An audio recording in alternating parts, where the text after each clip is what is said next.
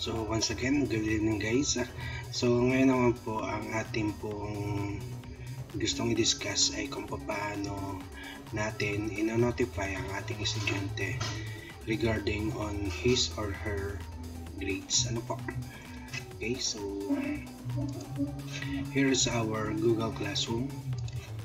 Okay, so click the people.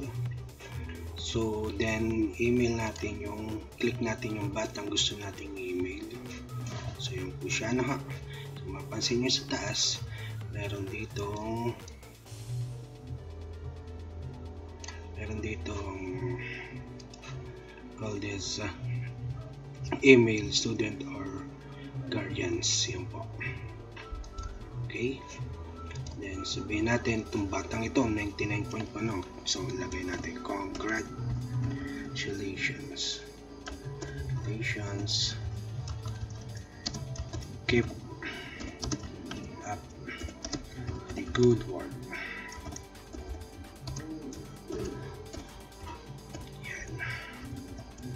okay then include the student work summary.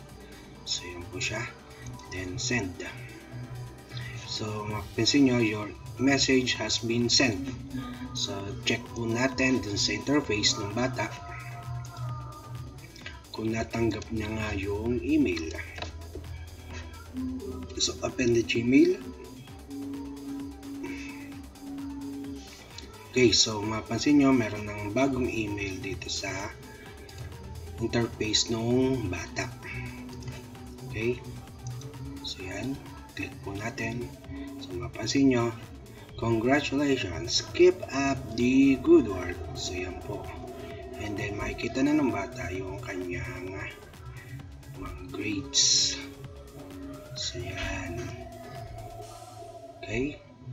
So ganun lang po kasimple kung paano natin ino-notify yung ating bata regarding on his uh, grades. Okay?